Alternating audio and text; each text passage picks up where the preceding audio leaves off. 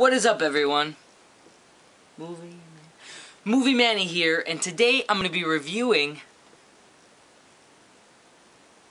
a new horror remake that was shot in time. Meaning, everything that occurs during the film happens in exactly 88 minutes. No cuts.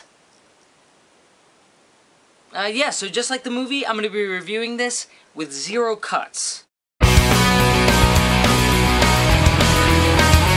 What is up everyone? This week I saw a horror remake that I kinda actually enjoyed. But yeah, this week I'm gonna be reviewing the new horror remake, In Time Zero Cuts, Silent House. I think I found a way out. Please. Oh god.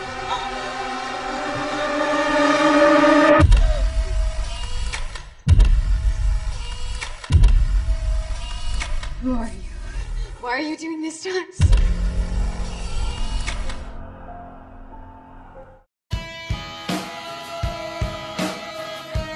Silent House was written and directed by movie-making couple Chris Kentis and Laura Lau, and it stars the beautiful Elizabeth Olsen.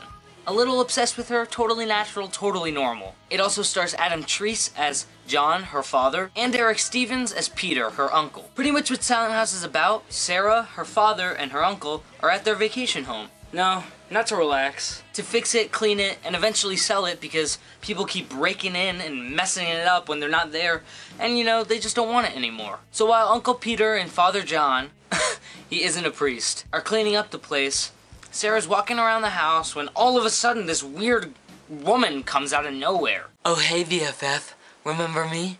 It's Sophia, your best friend when we were five.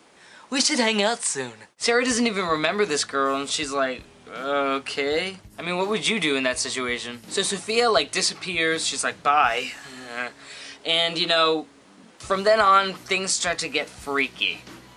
That's pretty much it. I know that's not a lot of information about the movie, but from then on, really, everything happens. I mean, the whole situation uh, lasts for the rest of the movie. So, yeah, I can't really tell you much else, or else it'll be, you know, spoilery. Spoilery. Spoilery. Now, viewers, this is the time where I discuss the likes and the dislikes, and I kind of just talk about why I like the likes and why I like the dislikes. Well, I don't like the dislikes. I hate the dislikes. Why I liked it and why I disliked it. So, here we go, starting with the likes. So like I said before, this film is 88 minutes long, and everything that happens in the film is in exactly 88 minutes. So if someone had to take a five minute walk, you know, we'd be watching them walk for five minutes. I think the way this was shot really made the film and it made total difference. I know, I know, this was a remake and uh, we've seen it before, this type of idea, but you know, this is very different, especially to America.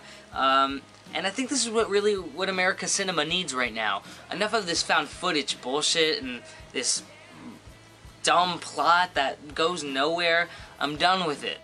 Let's get artsy. The acting was okay, it was alright for the co-stars, but when it came to Elizabeth Olsen, who stars as Sarah, you know, once again, just like in Martha Marcy May Marlene, she brought it. A lot of people have been complaining about the way she acts in this film.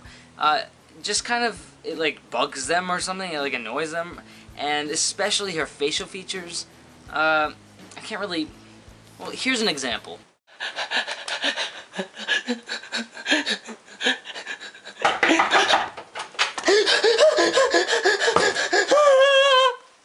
Well, it wasn't exactly like that, but you get it. No, but really, the character Sarah was a really great character in this film.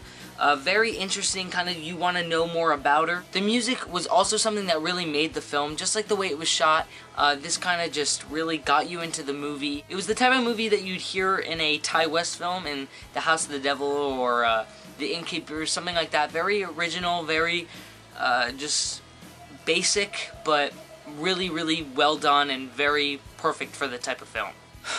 And lastly, of course, the twist. You know, I kind of saw it coming in the beginning. I knew something was odd, but, you know, I kind of got thinking, but you know, it really surprised me towards the end. It was a little different than what I thought, and I think it was really well done. It didn't tell you exactly, like, it didn't just tell you, you know what I mean? You actually have to think about it. But it's really kind of an interesting and cool twist. Now, of course, in every video, just gotta get a little negative sometimes. So here are the dislikes.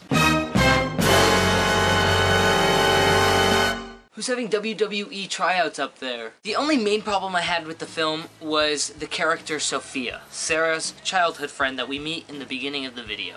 She comes back towards the end of the movie, and I just feel like the writers could have done a little bit more with her. You know, she served her purpose, and this whole film in general, it kind of makes you think, but there comes to a point where it's a little bit too much, you know, like, just let the audience figure it out, and not enough you know, actually telling us. Thinking's great, thinking's awesome. I really don't like films that just tell me too much, but they could have made a really cool character out of her instead of kind of her just being there and you kind of figuring it out.